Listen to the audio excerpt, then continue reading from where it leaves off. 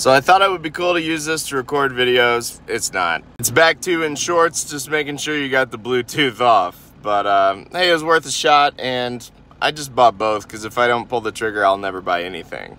That's the truth.